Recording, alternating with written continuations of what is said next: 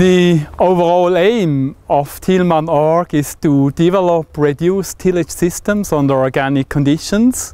Today we have our kick-off meeting with researchers from 10 countries and 15 institutions. Our consortium comprises different expertise, namely soil science, also we have experts in weed science, in plant nutrition and in crop science.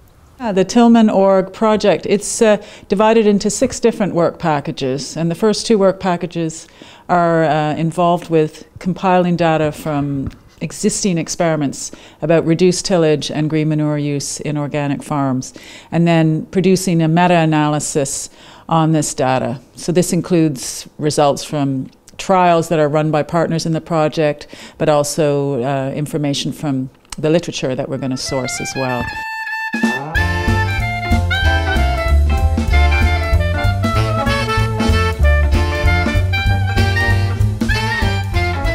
Yeah, in the Netherlands we have several field trials, and that's actually because of two experiences or two developments organic farmers are very much into the soil and they are constantly looking for new solutions.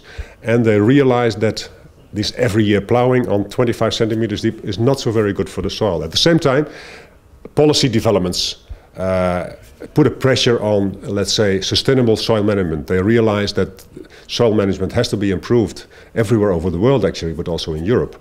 So, and we know that already organic agriculture is good for the soil but at the same time conservation agriculture. So how can you combine the best of these both worlds into uh, into a good practice? And organic farmers are very much interested in that. So there are a lot of organic farmers in the Netherlands who are experimenting with different things of soil improvement. Actually, we are running experiment in Munich since 1992 on reduced tillage but in integrated farming. In Germany, the situation for reduced tillage in organic agriculture is uh, like that um, about or less than 5% of organic farmers refrain from using the plow.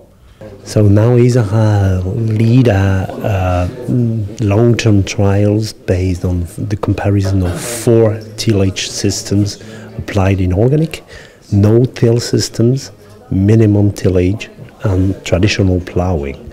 Uh, we are comparing reduced tillage uh, to plowing. Uh, we have a good experience with a combination of reduced tillage and compost application. Yeah, there was a farmer, organic farmer, he, he suggested us to, to use the French machine, Actisol. So the Actisol can be used in, in two ways, for a shallow, a shallow till or a deeper till.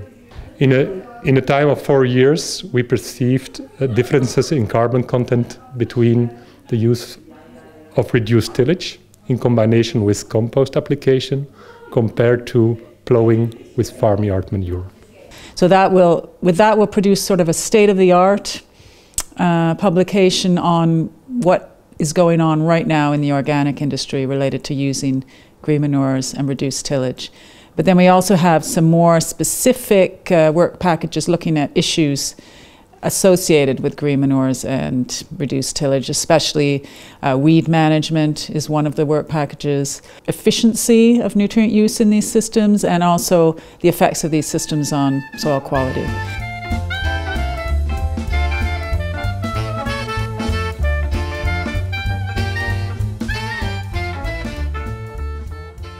Working package 3 is mainly related to soil quality, to carbon stocks and nitrogen stocks, but also to greenhouse gas emissions. So in the new field trial we will test um, three different tillage methods um, and also three different cover crops. Um, and we are measuring the greenhouse gas emissions during the whole season. We have expertise in biogas production and we developed a system to monitor uh, several uh, biogas digester at the same time. And our intention is to use the same system and modify it to uh, uh monitor greenhouse uh, gas emissions from a, a large number of plots uh, continuously during the, the season.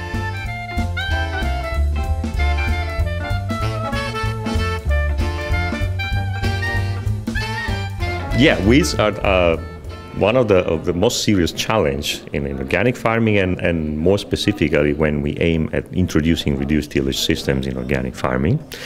So clearly we need to find a, a good way to take them under control, but at the same time our expectation is that through appropriate management we can also save the part of the weed community which can also support biodiversity and ecological services. We've seen some increases in weed populations after reduced tillage, but what we have seen is the crop has actually benefited from reduced tillage in terms of its establishment.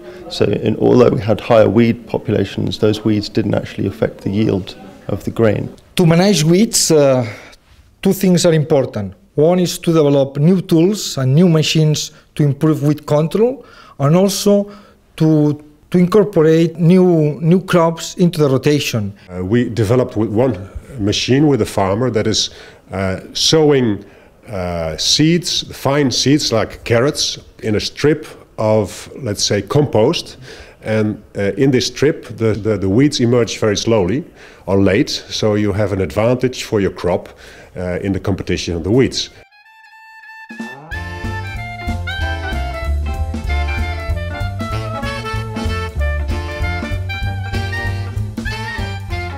Work Package 5 is about green manuring. It's a kind of optimization of the role of green manures within a system with reduced tillage. It's a, it's a gathering of data about how much nitrogen is brought over from one year to the other by means of green manure. That's one part. And the other part is reconstructing this in a model for a better understanding. We have set up three experiments in Witzenhausen and um, we're having uh, different green manure crops, and we're going to incorporate the green manures by different tools, different soil tillage tools. So we are either using the conventional, the classical plow, or we are doing some sort of mulching system by using a cultivator. And the extreme version would be to do direct drilling after the green manure crops. And then the final work package, we try and bring together all of these findings into some real useful prototypes for farmers to actually use on their own farms. So really trying to design systems using reduced tillage and green manures that'll be optimized for specific farmers to use.